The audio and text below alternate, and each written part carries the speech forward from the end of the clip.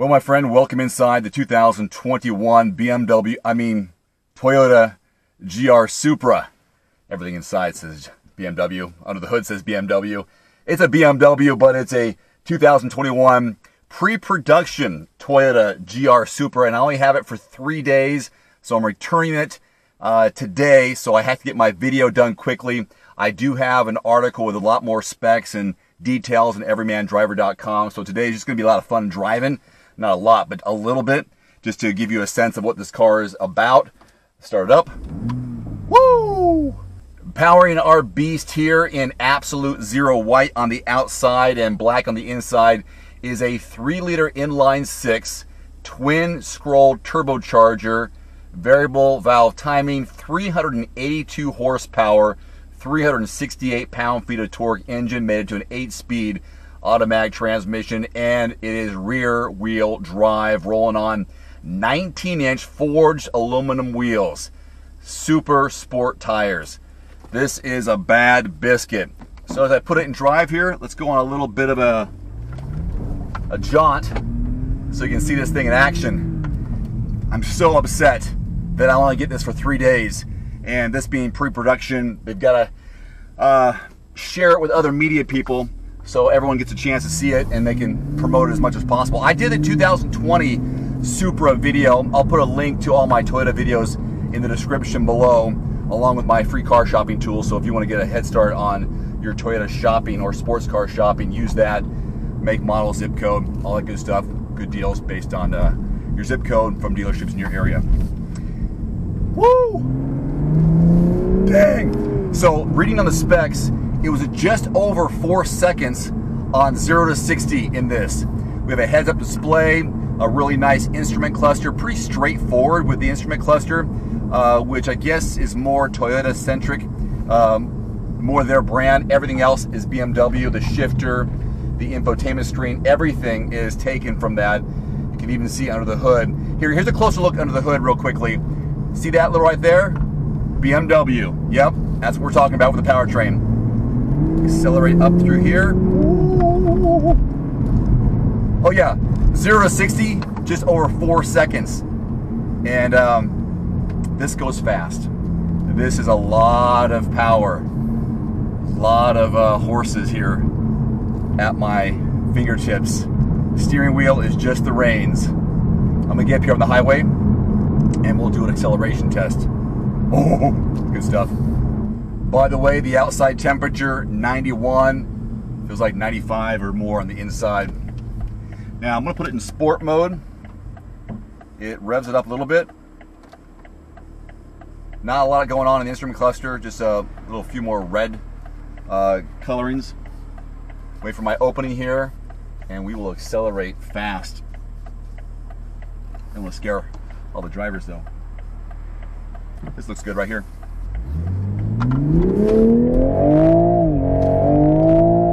And there, made it. That was that was 0 to 60 from a dead acceleration onto the highway. Boy, this is loud. Uh, cargo. Here's a quick look at the cargo. Um, narrow, a lot really narrow on the outside, but it does have some pass through. You can actually see up to the passenger and driver from the cargo area. Still usable space, but hey, what are you gonna do? It's a two-seater. It's all right. But that's what the cargo looks like. This thing hugs well. Dang. So from reading and learning, this has uh, almost 50 more horsepower, same engine, as last year's, the, the 3 liter, although there's a 2 liter also available. A couple different trim levels uh, available. All that's going to be on everymandriver.com. I just want to kind of have fun driving this car and get something on video so I can prove that I was in the 2021 Supra. Uh, so they managed to get more horsepower on this, almost 50, and just a few more pound-feet of torque overall. So this is, damn, they did a fun job. I don't know if, if, if, you as watching this are bothered by the fact that there's just a lot of Toyota emblems on what's basically a BMW. Uh, one thing I did notice when I was walking around the car and doing some inspecting, I love all the different contours and shapes of this car. It looks really sharp. uh, whether it's the you know the, the, the large nose, the back end with the spoiler, how it's shaped, indents, curvatures, and such. But these vents, a lot of these vents are for looks. They're like basically covered up the plastic inserts over the vents. Some of them are useful, but most of them, more often than not, are not useful, which is kind of surprising. Maybe it's uh, if you already have nearly 400 horsepower, maybe you're not going to do much more or want much more or want to upgrade much more. But I think from what I was reading, that that gives someone options to um, create more power with more air throughout the car. I don't know. I'm not an engineer. Ask Jason about that. He might know better than I do. Or he will know better than I do. I'm to do a little uh, driving here on this country road up here so you can see what it looks like and enjoy the scenery here in uh, the inland northwest of Washington State. And again, all the good de details about this car are on my website. And then I put some pictures here and there on Instagram as well as Facebook. It is hard not to throw the hammer down on this car. Woo! Dang, dang, boy.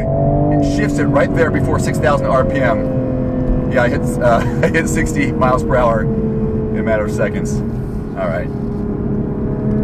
Have you seen a bigger smile on my face? Probably not. Not a long time.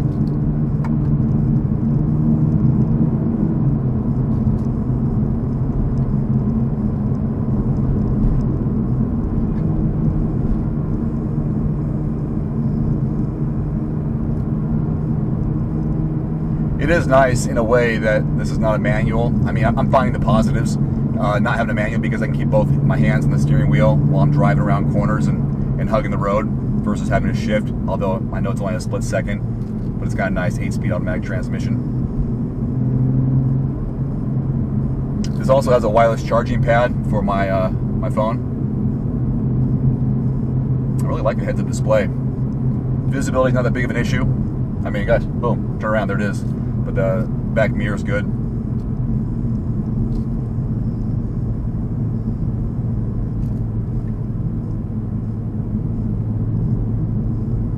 Everything on the steering wheel says BMW, except the Toyota logo. Of course, I got a car in front of me, right? Come on, Subaru, get out of here. Just slowing down so I can speed up.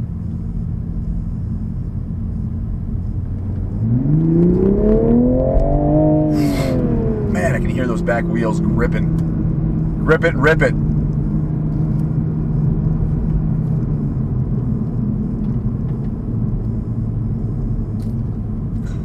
Guy's going where I want to go.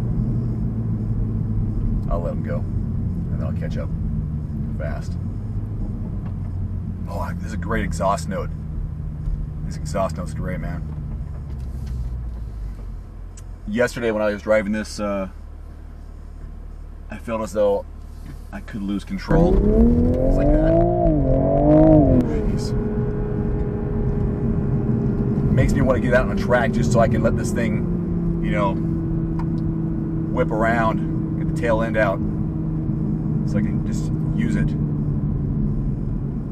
Ah. This would be a fun track car you know, pay for a couple of laps, get out there, let it breathe. Yes, sir.